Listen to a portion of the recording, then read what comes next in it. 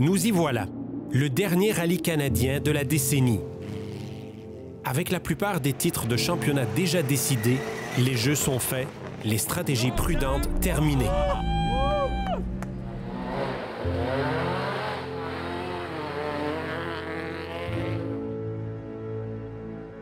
Ce week-end, le Big White Winter Rally marque la fin de la saison. Un défi tous azimuts, du début à la fin. Le vainqueur du dernier événement est celui dont on se rappelle toujours. This man, he's, he's pretty fast. You know, it's like some of it's him, most of it's probably his co-driver, but... Uh, yes. Les conditions favoriseront-elles les vétérans? Over crest, water, left 1025. ou les étoiles montantes brilleront-elles une fois de plus? This has been a, a big learning experience, especially in the, the R5. This is my first time on the snow with that. C'est la dernière manche du championnat des rallyes canadiens 2019 et ça commence maintenant.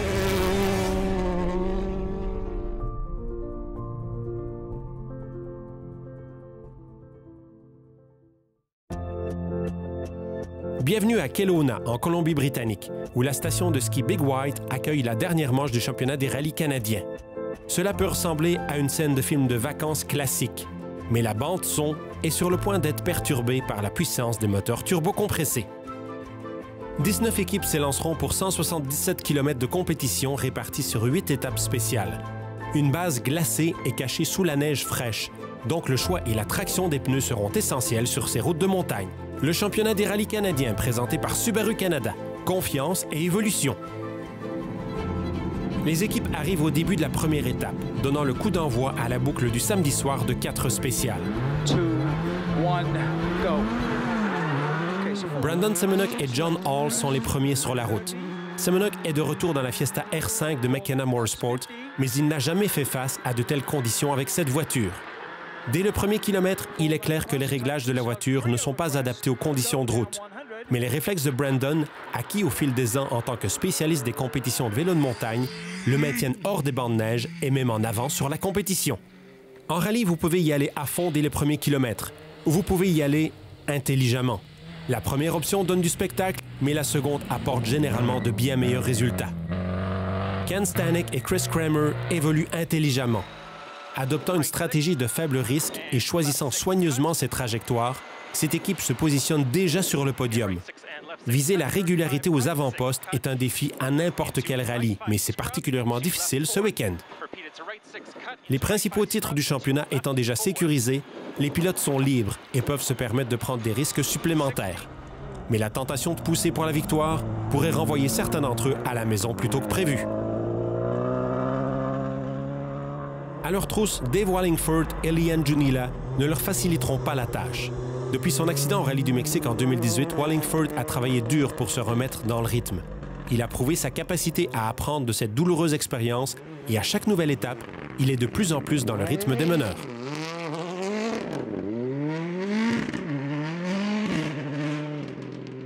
Après leur victoire toute catégorie au Rally of the Tall Pines, Leo Orlichich et Tatiana Nikolaeva visent la victoire en classe production 4 roues motrices ce week-end et ils se battent avec Joel Cates et Tiffany McDonald pour cela. Le titre reviendra au vainqueur de la classe ici. Mais avant la fin de la deuxième étape, c'est la catastrophe. Crest, act tit right 7 class into right 8 over crest, water, left 1025.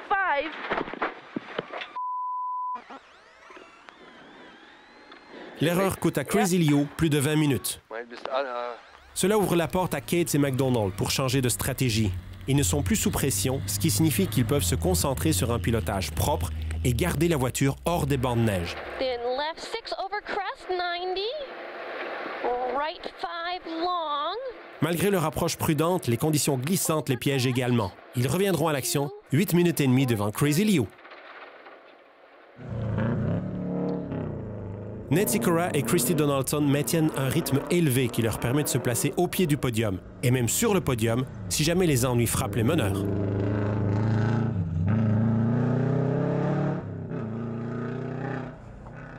En classe 2 roues motrices, Jason Bailey est généralement un candidat pour la victoire dans cette catégorie. Mais sa saison a été parsemée de malchance et d'ennuis. Malheureusement, cette dernière manche 2019 en est encore la preuve. Le temps passé dans le banc de neige durant la première étape coûte très cher à Jason et à sa copilote Jamie Willits, ce qui les met hors de combat. Bailey se bat généralement avec son ami et rival Wim van de Poel, mais malgré les ennuis de Bailey, Wim et son copilote Brian Lord ne peuvent pas encore se détendre. Van de Poel a manqué le titre de champion en deux roues motrices cette année, mais le championnat des copilotes de la classe deux roues motrices est toujours à gagner pour Brian Lord. Pour atteindre cet objectif, il doit finir sur le podium. Malgré la constance éprouvée de l'équipe, ils ne peuvent pas s'en assurer tant qu'ils n'auront pas franchi la ligne d'arrivée.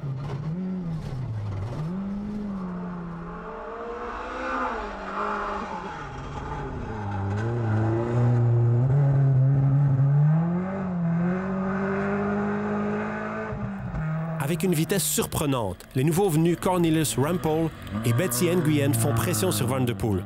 Impressionnant, car ce n'est que le deuxième rallye de Rampol en tant que pilote. À l'issue des spéciales de nuit, Brandon Semenuk et John Hall ont été maîtres dans la gestion de leur R5 pour prendre une avance significative.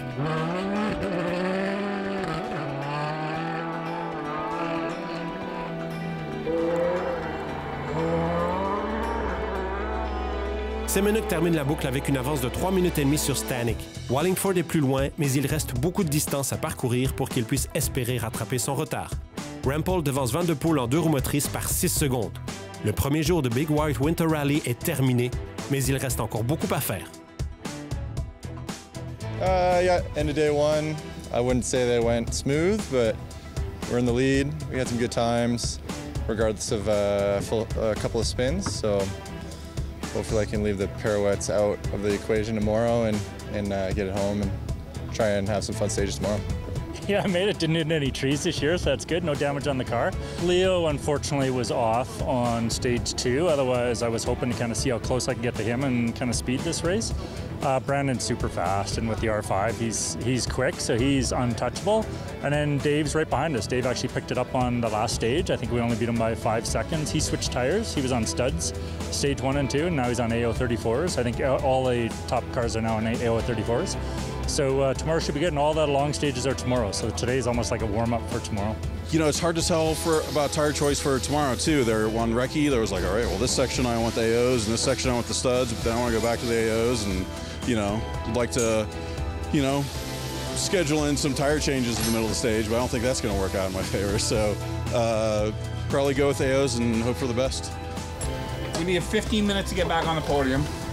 We definitely got a couple of them back already, so I think we can do it. I think we're going to do it.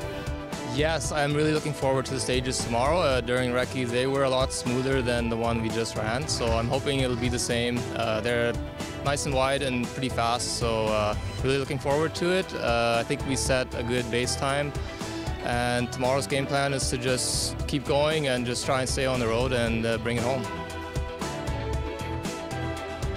Un nouveau jour se lève au Big White Winter Rally au retour de la pause. Subaru s'est fait une place au Canada il y a longtemps. S'est bâti une réputation de champion dans les conditions les plus exigeantes. 13 fois champion manufacturier en rallye canadien. Et ce n'est pas terminé. Faites partie de l'histoire. Subaru, confiance et évolution.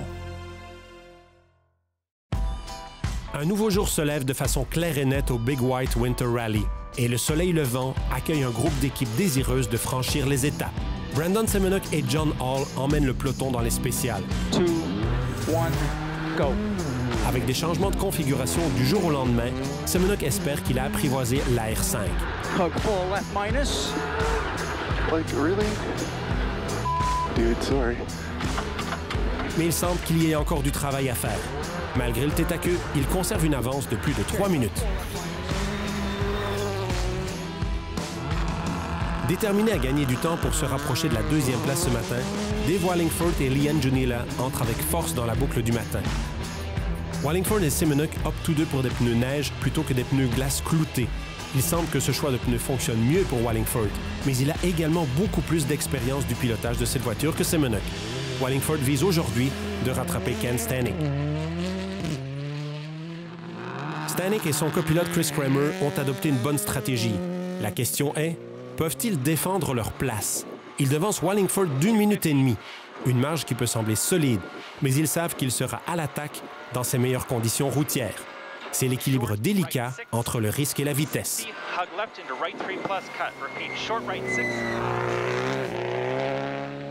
Nate Sikora et Christy Donaldson ont également compris la situation.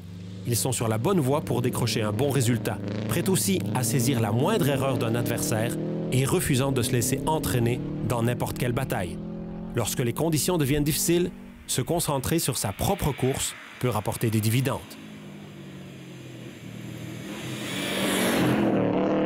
Il ne faut pas longtemps avant de vivre un autre maniement dans la catégorie deux roues motrices. Van de Poel et Lord, très confiants, poursuivent Rampol et Nguyen. Après une excursion mineure dans un banc de neige, Rampol abandonne la tête à Van de Poel et Lord. Les nouveaux arrivants parviennent tout de même à sortir la voiture du banc de neige et à continuer, mais ils ont concédé un temps précieux aux vétérans. Mais Van de Poel a ses propres soucis. Un problème intermittent de boîte de vitesse l'empêche de sélectionner le troisième rapport. Heureusement, la traction réduite sur la neige diminue l'impact du problème. Pour preuve, Van de Poel et Lord augmentent encore leur avance dans leur catégorie.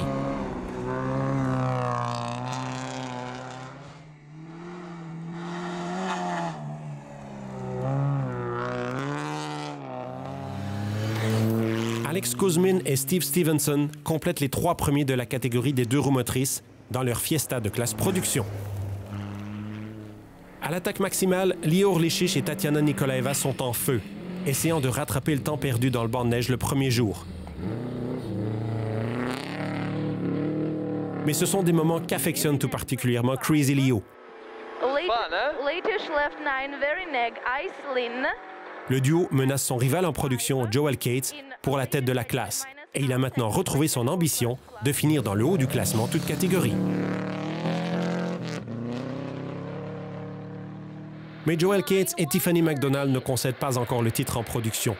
Ils savent que leur décision, intelligente, est de piloter de manière conservatrice et d'attendre que Crazy Leo soit à la hauteur de son surnom. Ce qui s'est passé la nuit dernière pourrait facilement se reproduire, surtout si Leo s'efforce de rattraper son retard sur les meneurs du classement général. 50. On ne compte plus les titres qui sont allés à des concurrents qui savent être vite, mais surtout patients. L'écart entre eux est de 46 secondes à la fin de la boucle. Semenuk augmente son avance à plus de 5 minutes. Wallingford réduit de moitié son déficit face à Stanek. Van de Poel possède désormais une solide avance dans la catégorie des deux roues motrices. Les équipes reviennent pour un dernier service avant d'attaquer la boucle finale des étapes. On en parle au retour. Nous sommes de retour au Big White Winter Rally. Les équipes sont maintenant au dernier service de la saison. Yeah, uh, bit of a rough start. Two spins on the first stage. So, yeah, we've been trying to find some setups just to help the car from just continuing to rotate through the bend, but um, it's just been challenging. So, lost a bunch of time just to spinning, but we're still in the lead. So, hopefully, just you know, keep it on the road, and if we spin again, just hopefully not get stuck. We've been lucky so far. Uh, it was okay. I tried to pull back a bit on stage, uh, the first stage this morning, but Wallingford took over 30 seconds on me. So I once I saw his time, I tried to push a little bit coming back up the hill and ended up spinning, and he took 10 seconds on me. So I think I'll probably try to push a bit, but uh, if I can eliminate the the uh, the spin, then things will be good. Yeah, yeah, I keep chipping away at Ken. Um, I, this I'm much more comfortable today. I can, you know, see better. The um, conditions are more consistent. Uh, it was a little rough. Uh, it's very slippery out there. Um, just trying to keep the car under control. Uh, going in was better than coming out. Uh, we went into the ditch coming out, but we were able to rock ourselves out again and get going. Um, yeah, it's really slippery, and it's just going to be a matter of trying to get a clean finish. Yeah, we, we caught him at the last stage because he had a off trip there somewhere. Uh, but uh, it's catchy. Now it's just we have to bring it home so Brian get his uh, championship. Yeah, so the morning's going good. Um, we had a, a little bit of an off last night, so hurt the confidence a little bit. So, um, you know, just kind of really trying to ease back into things and playing it conservative. I know I got to get to the finish to have any sort of chance at taking this championship home. So, well, first, what a stage! It was really, really fun, really good. We actually knew that we have a lot of time to make up eight and a half minutes in production class after yesterday's mistake. Kind of had a had a bit of a push on. I'm loving it. That's like really, really fun. Had a great time both both runs. Um, we had uh, eight and a half minutes to make up, and all of today, in half of today, we made up nine minutes already. So pretty good. Uh, I think I made the wrong tire choice going out today. Uh, it obviously snowed a bunch overnight. Last night, through the night stages, just snowing all night. So I imagine there being like quite a bit more fresh snow on the road. I knew I knew they plowed it, but it sounded like someone's going to get left. But it was just like ice most of the sections. So we'll definitely go in studs this time. I think that was key choice. Yeah, a little bit of surprise. I think Leo went on on studs. The other three of us kind of went on on AO 34s. Uh, Brandon says definitely going on studs. I had a little bit of a debate, but I think I'll follow Brandon's lead and go uh, switch over to studs now. And um, but there's a combination of ice and snow. We had a ton of fresh snow yesterday, but there's way more ice showing than I think anyone anticipated. On the se- the way out, I really thought hard about it, and I think I'm going to stick with the AOs. Um, they're just really consistent. I'm comfortable driving on them. I've used them more than the studs, so I think I'm just going to kind of keep running on the AOs and hope to kind of keep building on that consistency. There's enough ice out there that I should switch to studs, but I just trust the AOs more. They're more consistent um, in different conditions, and uh, I'm just more comfortable with them. So I think I'll stick with them. I think I'm going to back off a little bit. I'm going to. I think I'm going to let Wim have uh, the two-wheel drive win. Uh, he definitely deserves it. I'm just happy to be up there competing with the top drivers. Uh, and yeah, I'll just we'll try and keep it clean and uh, just stay on the road. Yeah, two more Gem Falcon stages, and then uh, that's that's it. But 50 so kilometers, so it's there's still lots of rally left, and yeah, it should be exciting. Two long stages, and it's uh, that's almost like I don't know a third of the rally or something. So uh, still anything can happen.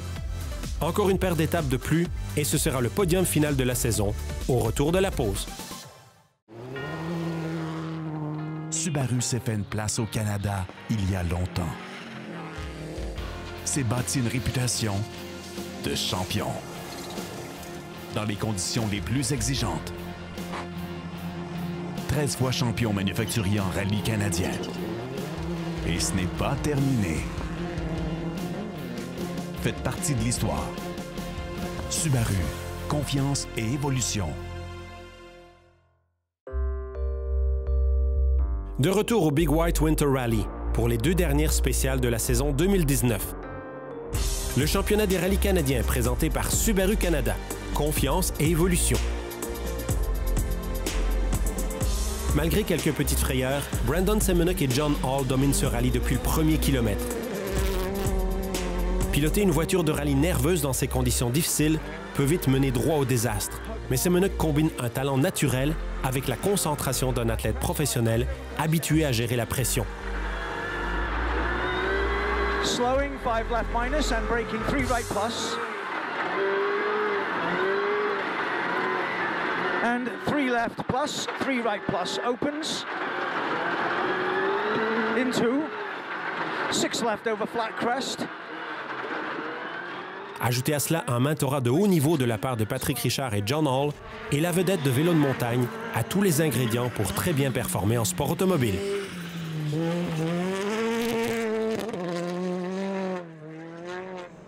Bien qu'il ne puisse pas se battre pour un autre podium au classement général aujourd'hui, Crazy Leo sera heureux de se contenter de la victoire en classe production 4 motrices et du titre de champion qui l'accompagne.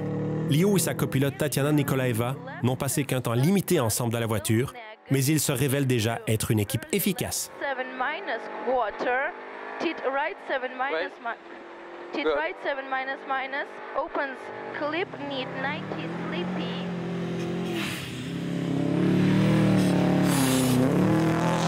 Joel Cates et Tiffany McDonald terminent le rallye en deuxième place en production 4 motrices, à égalité de points en tête du championnat. Orlichich décroche toutefois le titre en fonction des victoires, mais prend le titre de pilote novice et McDonald le titre de copilote de la catégorie. Avec une solide avance dans leur catégorie, Wim Van Der Poel et Brian Lord se rapprochent du titre de copilote pour Lord en deux roues motrices. Ce sont des moments où vous pouvez presque sentir l'odeur du champagne qui s'en vient, mais ce sont aussi des moments qui demandent beaucoup de prudence.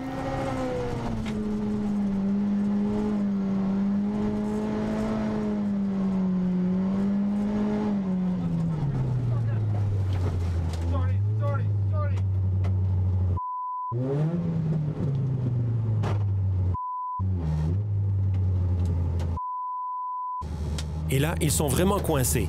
Et Wim est convaincu qu'il vient de faire perdre à Brian son championnat. L'erreur de Van de Poel ouvre la porte à Cornelis Rampel et Betsy Nguyen pour décrocher la victoire en deux roues motrices. Une performance incroyable au premier rallye national de Rampel en tant que pilote.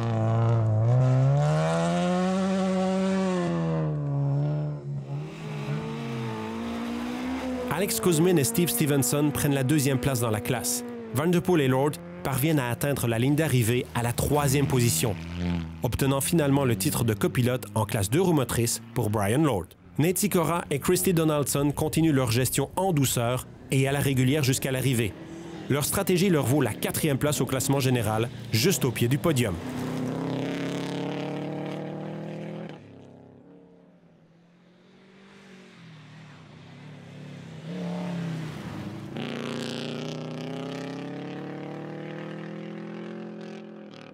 Dave Wallingford et Liane Junila continuent de mettre la pression sur Stanek dans presque toutes les étapes de la journée. Mais ce n'est pas suffisant et ils terminent en troisième place. Avec une bonne alliance de rythme, de stratégie, bref de cohérence, il est clair que Wallingford est en bonne voie de rétablissement. L'expérience acquise en fait désormais un candidat au podium à chaque rallye.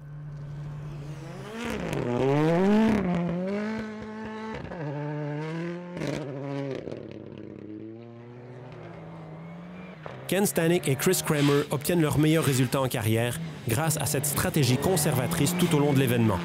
Ils ont gagné leur pari, allant juste assez vite pour rester aux avant-postes. Ils n'ont jamais cédé à la pression et n'ont commis aucune erreur.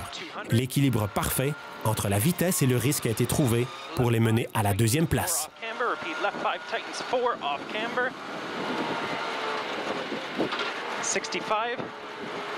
65. Caution, right 6 over 100, tightens to long, 4 off camber slippy. Repeat, caution, right 6 over 100, tightens 4 off camber slippy. Au final, Brandon Semenuk et John Hall terminent le Big White Winter Rally comme ils l'ont commencé, en contrôle. Ils ont remporté toutes les étapes sauf une durant cette compétition, clôturant la saison du championnat des rallyes canadiens 2019 en montant une fois de plus sur la première marche du podium. Hug for five right, 40 over the finish, three right, 50.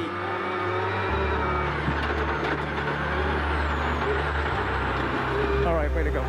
Semenuk et Hall remportent le rallye avec plus de 8 minutes d'avance sur Stanek et Kramer. Wallingford et Junila complètent le podium. Rampel et Nguyen s'imposent en classe 2 roues motrices et la troisième place de Van de Poel et Lord est suffisante pour donner à Lord le titre de copilote en deux roues motrices. La victoire de Semenuk le place au troisième rang du championnat, terminant juste devant Leo Urlichich. Yeah, it finished up the rally. Super fun times. The last couple stages were a lot better for me. We made a little setup change with the car and just ended up handling so much better. So, I mean, it showed in the stage times, and yeah, it was just felt like a really consistent drive. So, yeah, another big white in the bag. Yeah, super happy. Dave was scaring me in the morning. He took like 34 seconds on the first stage this morning, and then he had another 10 in uh, the second, another nine in the third, and then we, I think we nipped him by eight seconds in the end. And great way to end the season. Yeah, little champagne and uh, celebration with the team. Yeah, uh, you know, I love rallying up here in Canada. This is uh, a great way to finish the season. Um, up here at Big White Ski Resort, this is a fantastic place to come rally. Yeah, so I think we were really feeling the pressure after finding out that we were sitting on top. So I think uh, second time around we decided to take it easier, but we actually made a faster time than the first time. So uh, yeah, I think just pulling back a little bit and keeping it clean is really what brought us home. La fin de ce Big White Winter Rally met un terme au championnat 2019. Ce fut une saison passionnante et nous espérons que vous vous joindrez à nous pour une autre belle saison qui s'annonce en 2020.